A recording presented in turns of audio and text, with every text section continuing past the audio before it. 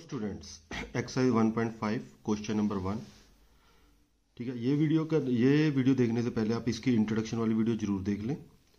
तो हमारे पास क्वेश्चन है यूनिवर्सल सेट दिया हुआ है वन टू नाइन और ए दिया हुआ है one two three four B दिया हुआ है two four six eight C दिया हुआ है थ्री फोर फाइव सिक्स अब हमने फ़र्स्ट क्वेश्चन है ए कम्प्लीमेंट फाइंड आउट करना है।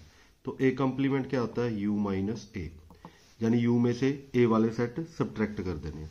तो u है हमारे पास वन टू नाइन और a है वन टू थ्री फोर तो u माइनस ए क्या होगा? फाइव सिक्स सेवन एट और नाइन ठीक है? तो ये हमारा आंसर है ए डैश का।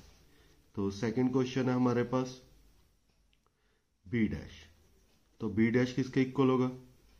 u माइनस बी अब u में से b वाले सब्ट्रैक्ट कर देने। तो b वाले क्या है? इवन है टू फोर सिक्स एट तो हमारे पास आंसर क्या आएगा? वन थ्री फाइव सेवन और नाइन। ठीक है? तो ये हमारे पास बी का कॉम्प्लीमेंट थर्ड है हमारे पास ए यूनियन सी का कॉम्प्लीमेंट तो ए यूनियन सी का कॉम्प्लीमेंट करने से पहले पहले हमें A union C find out करना होगा। तो ए यूनियन सी हमारे पास क्या होगा? ए के एलिमेंट और सी के एलिमेंट यानी one, two, three four five six मान लो जो रिपीट हो रहा है रिपीट कौन सा हो रहा है? थ्री और फोर उसे एक बार ही लिखना ठीक है, ये ए यूनियन सी आ गया। तो अब हमने क्या फाइंड आउट करना है? ए यूनियन सी का कॉम्प्लीमेंट तो यू में से ए यूनियन सी सब्ट्रैक्ट कर देना तो यू हमारे पास क्या है? One two nine A union C क्या है? One two three four five six तो इन सभी को छोड़ के सेवन एट और नाइन ये हमारा आंसर है ए यूनियन सी का। ठीक है? तो चलते हैं फोर्थ पार्ट पर। फोर्थ पार्ट है हमारे पास ए यूनियन बी का कंप्लीमेंट तो पहले हम A union B find out करेंगे। तो ए में एलिमेंट हमारे पास वन टू थ्री फोर और बी में हमारे पास टू फोर सिक्स एट तो ए यूनियन बी हमारे पास क्या होगी? One two three four six eight अब हमने इसका कंप्लीमेंट फाइंड आउट करना है। तो ए यूनियन बी का कंप्लीमेंट होगा U minus A union B और यू में कितने एलिमेंट है? वन टू नाइन तो बस हमने ये नहीं लिखने। One two three four six eight नहीं लिखना। तो हमारे पास क्या आ जाएगा? फाइव सेवन और नाइन तो ए यूनियन बी का कंप्लीमेंट हमारे पास क्या आएगा? फाइव सेवन नाइन क्लियर है? तो चलते हैं क्वेश्चन नंबर फिफ्थ फिफ्थ है हमारे पास ए कंप्लीमेंट का कंप्लीमेंट ये में, हमने आपको प्रॉपर्टी भी लिखाई थी, अगर किसी सेट का दो बार कंप्लीमेंट कर दो तो वो ओरिजिनल सेट में वापस आ जाता तो करके दिखाते हैं तो पहले हम क्या करेंगे? ए का कंप्लीमेंट ए का कंप्लीमेंट तो हमने अभी फाइंड आउट ही किया तो यही लिख देते हैं। Five six seven eight nine अब हमने इसका फिर दोबारा कंप्लीमेंट करना है। ए कंप्लीमेंट का कंप्लीमेंट यानी यू में से ए कंप्लीमेंट सब्ट्रैक्ट कर देना।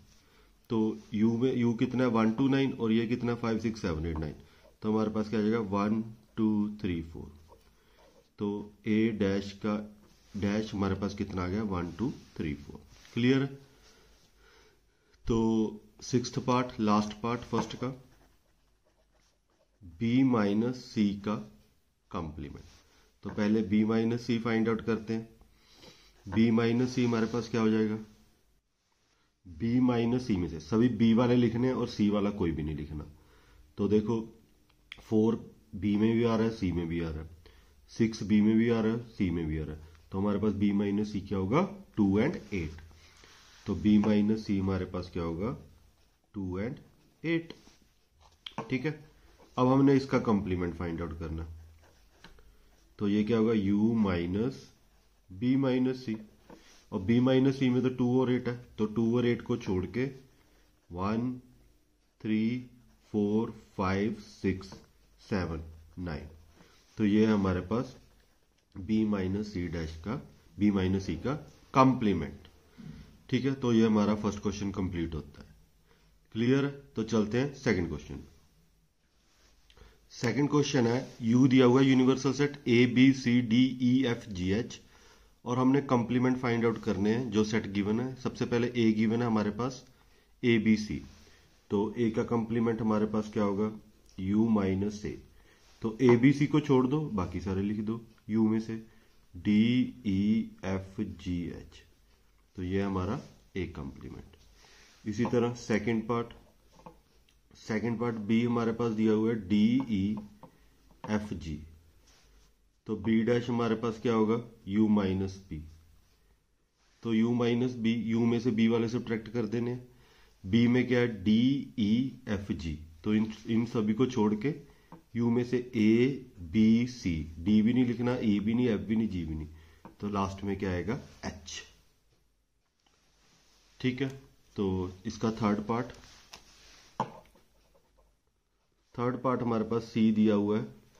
ए C E G A C E G अब हमने सी का कंप्लीमेंट फाइंड आउट करना है तो u माइनस सी अब हमने a नहीं लिखना तो क्या आ जाएगा b? C नहीं लिखना d. E नहीं लिखना f. G नहीं लिखना h. यानी u में से a, b, c, d e f, g, h में से बस इन c के एलिमेंट को छोड़ देना, ठीक है? तो last part fourth part d दिया हुआ है, f, g एच और ए ठीक है? तो डी का कंप्लीमेंट u माइनस डी ठीक है? तो u माइनस डी ए यहाँ है डी में तो ए नहीं लिखना। तो B C T E F नहीं लिखना जी नहीं लिखना एच नहीं लिखना। बस यही आपका आंसर है। ठीक है? तो इस तरह हमारे क्वेश्चन दो क्वेश्चन कंप्लीट होते हैं 1.5 में। नेक्स्ट वीडियो में नेक्स्ट क्वेश्चन करेंगे। Thanks for watching and subscribe the channel and share with your friends.